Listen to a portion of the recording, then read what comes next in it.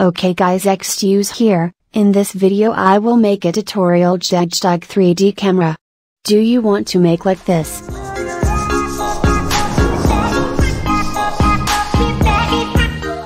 Okay, let's go straight to the main video. First, you add fan art according to the character you want, I use the fan art same the sample video. After that you can pre-comp fan art. Go to this section, you have to mask fan art so that the background becomes transparent. I skipped the masking part because it was too long for me. After that you can make the same background as I showed. All ingredients are in the description of this video.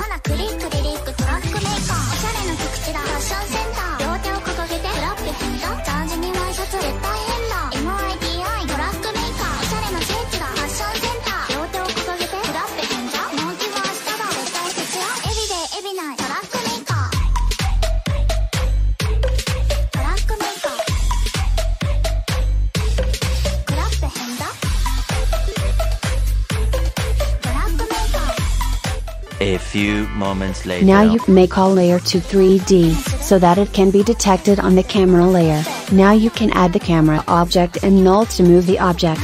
Change the position Z on background to 1500, and change background scale to 208.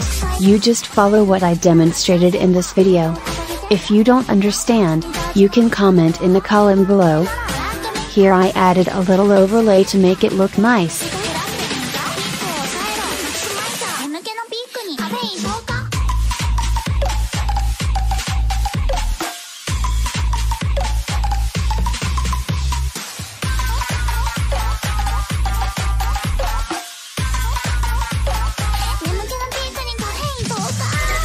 Duplicate the background layer to make it more interesting to look at. And then give motion tile on one of the background layers. You just follow what I demonstrated in this video.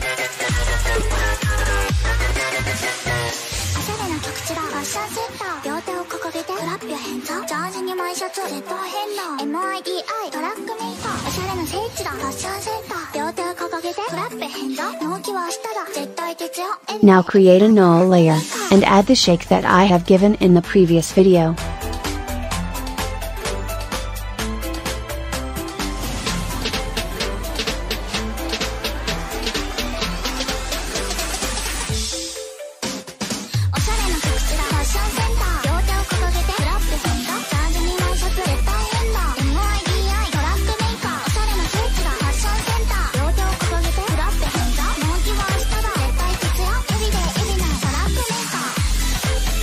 Oh I forgot to show my mouse cursor, sorry wait a minute. Uh, eventually.